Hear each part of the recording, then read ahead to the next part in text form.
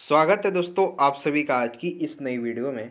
आज हम पढ़ेंगे क्लास ट्वेल्थ की पॉलिटिकल साइंस का चैप्टर फोर, न्यू सिलेबस के अकॉर्डिंग, जिसका नाम है समकालीन विश्व और दक्षिण एशिया। तो इस चैप्टर के टू, फोर, सिक्स मार्क्स के, यानी कि जितने भी इंपॉर्टेंट क्वेश्चन आंसर बनते हैं, वो सभी के सभी हम आज की इस वीडियो में देखने वाले हैं। तो वीडियो अराउंड आपकी बीस मिनट की बनेगी तो ध्यान से देखिएगा। तो चलिए वीडियो स्टार्ट करते हैं। तो इस चैप्टर इस चैप्टर का दोस्तों सबसे पहला जो प्रश्न है, ठीक है, दो मार्क्स का वो देखिए आपकी स्क्रीन पे है, ठीक है? क्या प्रश्न देखिए, पढ़ते हैं। सार्क क्यों असफल हो गया? यानी कि जो सार्क है, इसकी असफलता के कारण क्या है? ठीक है?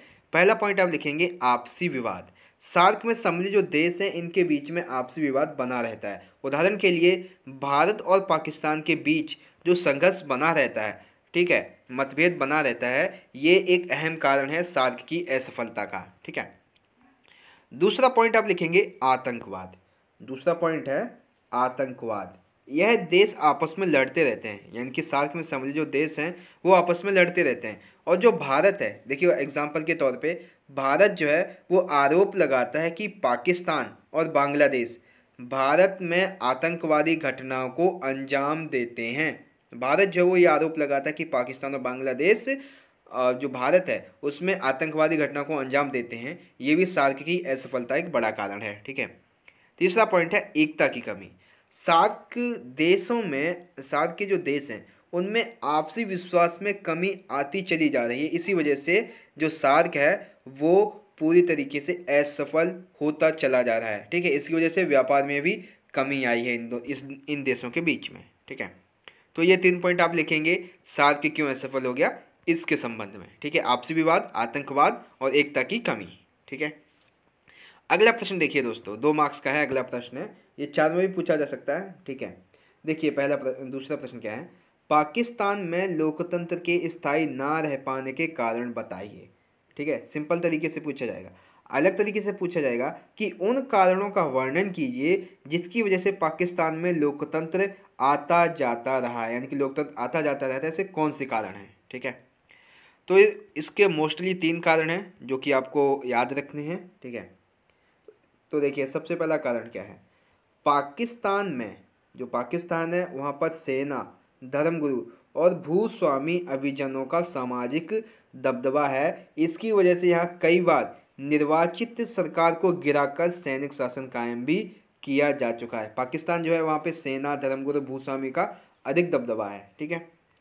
दूसरा पॉइंट पाकिस्तान में लोकतंत्र के शासन को चलाने के लिए, पाकिस्तान में लोकतंत्र का अगर शासन चलाना है तो वहाँ पे कोई अंतर्राष्ट्रीय संगठन मदद भी नहीं करता है।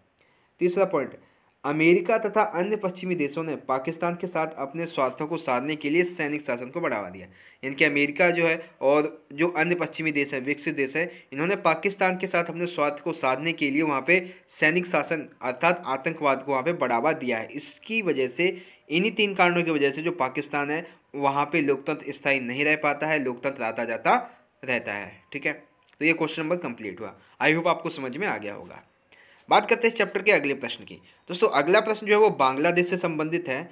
देखिए क्या है कि बांग्लादेश में लोकतंत्र का क्या रिकॉर्ड रहा है?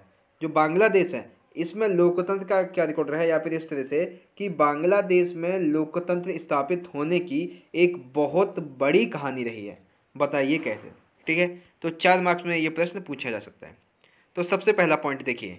सन 1970 में बांग्लादेश में पहली बार चुनाव हुए। सन 1970 में बांग्लादेश में पहली बार चुनाव हुए थे, जिसमें शेख मुजीबुर रहमान ये देश के प्रधानमंत्री बने थे और उन्होंने खुद को वहाँ का राष्ट्रपति घोषित कर दिया गया था। मतलब उन्होंने खुद को राष्ट्रपति वहाँ का घोषित कर दिया था और कुछ समय पश्चात इन्हें फांसी फांसी नहीं मतलब इन्हें जेल में डाल भी दिया गया था, ठीक है? जब शेख मुजीबुर रहमान को याहिया खान ने जेल में डलवा दिया, ठीक है? तो याहिया खान ने अपने सैनिक शासन में, पाकिस्तानी सेना सेना ने, यानी याहिया खान ने अपने सैनिक शासन के दौरान पाकिस्तानी जो सेना थी, उसने बंगाली जनता के आंदोलन को कुचलने की कोशिश की, जिसमें हज़ारों लोग मारे गए लाखों की संख्या में भारत पलायन कर आ गए।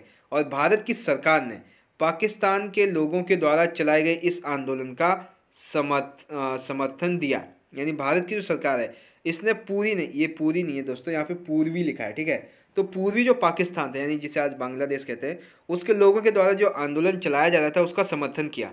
इसी समर्थन के चलते 1971 में, इसी समर्थन के चलते 1971 में भारत और पाकिस्तान के बीच, जो पश्चिमी पाकिस्तान का उसके बीच में मतलब जो मैन पाकिस्तान था, उसके बीच में युद्ध छिड़ गया। और युद्ध की समाप्ति के पश्चात जो पूर्वी पाकिस्तान था, वो पूर्वी पाकिस्तान में जो पाकिस्तानी सेना थी उसने आत्मसमर्पण कर दिया और जो पूरी पाकिस्तान था, वो एक स्वतंत्र राष्ट्र बना, जिसे कहा गया बांग्लादेश, ठीक है? और बांग्लादेश निर्माण के पश्चात ही उसने अपने आप का एक खुद संविधान बनाया और वहाँ पर लोकतांत्रिक व्यवस्था स्थापित कर दी, ठीक है?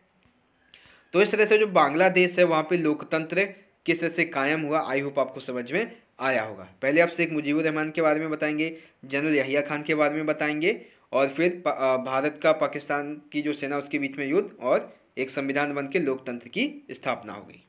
ठीक है? आई होप आपको समझ में आ गया होगा। अब देखिए, ये जो क्वेश्चन नंबर फोर था सॉरी थ्री था, बांग्लादेश में लोकतंत्र का क्या रिकॉर्ड रहा है? ये अलग से छः मार्क्स में भी पूछा जा सकता है। ठीक है? तो यहाँ पे मैंने पाँच पॉइंट बताए, आप पाँच भी लिखेंगे तो भी आपको सिक्स मार्क्स मिल जाएँगे। अब बात करते हैं अगले प्रश्न की। अगला प्रश्न दोस्तों, श्रीलंका से संबंधित। अगला है हमारा श्रीलंका से संबंधित। ये सिक्स मार्क्स में पूछा जा सकता है, लेकिन यहाँ पे चार का मैंने लिखा है। देखिए क्या है। श्रीलंका में जातीय संघर्ष पर चर्चा कीजिए। यानी श्रीलंका में जातीय संघर्ष चला था। उसके बारे में आपको बताना है। ठीक है? तो सबसे पहले तो आपको ये बता, पता होना चाहिए कि श्रीलंका में जो सिंघली वहाँ स्थित थे, वो वहाँ के मूल निवासी थे। वहीं जो श्रीलंका के उत्तर पूर्वी क्षेत्र थे, वहाँ पे तमिलों की संख्या भी बहुत थी। ठीक है? और फिर क्या हुआ? देखिए 1948 के श्रीलंका चुनाव में 1948 में जब श्रीलंका में चुनाव हुए तो वहाँ पे सिंगली और तमिलों के साथ समान व्यवहार करने वाले लोगों, करने वाले पार्टी की सरकार बनी। इसकी वजह से जो सिंगली समूह था, वहाँ के जो मूल निवासी थे श्रीलंका के, वो काफ़ी नाराज़ हुए। फिर वहीं उन्नीस सौ इक्यावन के जब चुनाव हुए तो वहाँ पे श्रीलंकाई फ्रीडम पार्टी की सरकार बनी और सुलेमान भंडार नायके ने सरकार की बागडोर संभाली और ये जो पार्टी थी वो काफ़ी कट्टरपंथी पार्टी थी। इसी ने तमिलों को भगाने के लिए बहुत कदम उठाए। किसने? श्रीलंकाई फ्रीडम पार्टी के सुलेमान भंडार नायके ने। कौन कौन से कदम उठाए? श्रीलंका जो सिंगली भाषा थी, इसको श्रीलंका की राष्ट्रभाषा घोषित कर दिया। ठीक है? दूसरा पॉइंट है, बस परिवहन तथा बंदरगाह, जिस पर मुख्यतः तमिलों का नियंत्रण हुआ करता था, उसका राष्ट्रीयकरण कर दिया जिसकी वजह से तमिलों का रोज़गार पूरी तरीके से छिन गया। तीसरा पॉइंट है, तमिलों का विदेशी आवास प्रमाण पत्र को नवीनीकरण करने से मना कर दिया। यानी कि विदेशी आवास प्रमाण पत्र जो होता है, उसको नवीनीकरण करने से जो श्रीलंका की सरकार थी, उसने मना कर दिया। प्रमाण पत्र, नागरिकता एवं नए राज्य की मांग को श्रीलंका फ्रीडम पार्टी ने अस्वीकार कर दिया। इनकी प्रमाण पत्र को लेकर, नागरिकता को लेकर, नए राज्य की मांग को लेकर श्रीलंका फ्रीडम पार्टी ने पूरी तरीके से इन मांगों को अस्वीकार कर दिया। ठीक है? जब इतना सब कुछ हो गया, उसके बाद तमिलों ने अपने हक के लिए लड़ाई का जो ज़रिया था, उसको और तेज़ी से स्टार्ट किया। देखिए 1978 में तमिलों ने अपने अधिकारों की मांग के लिए लिट्टे किसका निर्माण किया? लिट्टे, यानी कि लिब्रेशन टाइगर्स ऑफ़ तमिल इलम की स्थापना की, ठीक है? लेकिन ये ज़्यादा सफल नहीं हो पाया और जल्दी ही इसे आतंकवादी संगठन घोषित कर दिया गया था, ठीक है? फिर उन्नीस सौ सतासी में भारत और श्रीलंका के बीच एक समझौता हुआ, जिसमें यह निर्णय लिया गया। उन्नीस सौ सतासी में भारत और श्रीलंका के बीच क्या समझौता हुआ? कि श्रीलंका का विभाजन नहीं होगा और श्रीलंका के उत्तरी पूर्वी भागों को मिलाकर एक विधानसभा बनाई जाएगी। ठीक है? और फिर लास्ट में दो पॉइंट बचेंगे दोस्तों, देखिए क्या है कि उन्नीस सौ सतासी में भारत ने अपनी शांति सेना श्रीलंका में भेजी। उन्नीस सौ सतासी में भारत ने अपनी जो शांति सेना थी, वो श्रीलंका में भेजी, लेकिन वो वहाँ पे असफल रही और 1989 में उसे वापस बुला लिया गया। उसके बाद यूरोपीय संघ के कहने पर, किसके कहने पर? यूरोपीय संघ के कहने पर फिनलैंड, डेनमार्क और स्वीडन तथा नॉर्वे यहाँ के प्रतिनिधियों ने श्रीलंका में उपस्थित दोनों जातियों के बीच शांति बनाए रखने की कोशिश की और ये जातीय संघर्ष आज भी कहीं ना कहीं श्रीलंका में पनपता हुआ हमें देखने को मिलता है। ठीक है? तो ये था दोस्तों, श्रीलंका में जातीय संघर्ष किस तरह से था, उसके बारे में चर्चा कीजिए। ठीक है? तो आई होप आपको समझ में आया होगा। पहले आपको क्या बताना है? श्रीलंका में कौन मूल्यवासी है? उसके बारे में, ठीक है? फिर पार्टी के बारे में आपको बताना है। कौन कौन से चार कदम उठाए उनको भगाने के लिए, ठीक है? और उसके बाद किस तरह से जो शांति वहाँ पे बरकरार हुई, उसके बारे में आपको बताना है, ठीक है? आई होप आप समझ गए होंगे। अब बात करते हैं अगले प्रश्न की। अगला दोस्तों, भारत और पाकिस्तान के संबंधों का वर्णन कीजिए। देखिए, जब आपसे पूछा गया है, भारत और पाकिस्तान के संबंध तो यहाँ पे आपको भारत और पाकिस्तान के अच्छे संबंध भी बताने हैं और ख़राब संबंध भी बताने हैं, ठीक है? तो देखिए, सबसे पहले हम बात करेंगे भारत और पाकिस्तान के बीच मतभेद के क्या कारण हैं। सबसे पहला कारण, पाकिस्तान के विभाजन के पश्चात दोनों देशों के बीच 1948 के युद्ध के बाद जो कश्मीर था, वो दो हिस्सों में बट गया। एक हिस्सा पाकिस्तान अधिकृत कश्मीर तथा दूसरा जम्मू कश्मीर प्रांत बन गया। यानी कि पाकिस्तान का जब, जो भारत था इसका जब विभाजन हुआ और जो पाकिस्तान था वो अलग हो गया तो पाकिस्तान से जो कश्मीर निकला 1948 के युद्ध के पश्चात, कश्मीर के दो हिस्से हो गए। भारत और पाकिस्तान का जो 1948 का युद्ध हुआ, उसके पश्चात कश्मीर के दो हिस्से हो गए। एक तो पाकिस्तान के अधिकृत हो गया और एक जम्मू कश्मीर दूसरा प्रांत बन गया। उसके बाद 1971 में, कब? 1971 में भारत और पाकिस्तान के बीच फिर से युद्ध हुआ, ठीक है? फिर से युद्ध हुआ। यह युद्ध जो था दोस्तों वो बंग, बांग्लादेश जो संकट आया था उससे संबंधित था ठीक है? फिर है उन्नीस सौ अट्ठानवे में भारत ने पोखरण में परमाणु परीक्षण किया। वहीं कुछ दिनों के पश्चात पाकिस्तान ने भी कर लिया। इसकी वजह से दोनों के पास परमाणु हथियार हो गए ठीक? फिर है भारत और पाकिस्तान के बीच सिंधु नदी जल बंटवारे को लेकर मतभेद बना है। भारत और पाकिस्तान जो है, इनके बीच में सिंधु नदी जल बंटवारे को लेकर विवाद बना रहता है, जिसे यूएनओ की मदद से सुलझा लिया गया था, ठीक है? कक्ष के रन में, कक्ष के रन में, जो कि जो सरकरिक सीमा है, इस सीमा रेखा को लेकर दोनों देशों के बीच में मतभेद बने रहते हैं। तो ये कुछ चार पाँच कारण थे, जिसकी वजह से पाकिस्तान और भारत के बीच में मतभेद बने रहते हैं, ठीक है? इतने मतभेद होने के बावजूद भी, भारत और पाकिस्तान के जो संबंध हैं उनको अच्छा करने की दिशा में इन्होंने कई कदम उठाए हैं, ठीक है? जैसे सबसे पहला कदम, भारत और पाकिस्तान के अच्छे संबंध में सबसे पहले कदम है लाहौर बस सेवा। अटल बिहारी वाजपेयी के नेतृत्व में जब उनकी सरकार थी, उस दौरान 1999 में दोनों देशों के बीच लाहौर बस सेवा की शुरुआत की गई। परंतु उसी साल कारगिल युद्ध होने की वजह से इसे समाप्त करना पड़ा था, ठीक है? आयुब, आप समझ गए होंगे? अगला पॉइंट देखिए। अगला है क्रिकेट टीम का दौरा। दूसरा पॉइंट क्या है हमारा?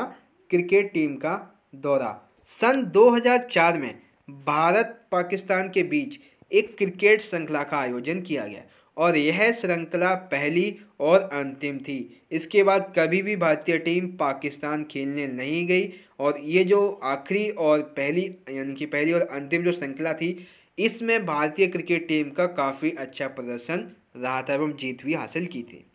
तीसरा पॉइंट है साफ्टा पर हस्ताक्षर। दोनों देशों ने, भारत और पाकिस्तान ने, अपनी ही अपनी अर्थव्यवस्था को मज़बूत बनाने के लिए 2004 में साफ्टा पर हस्ताक्षर किए थे, ठीक है?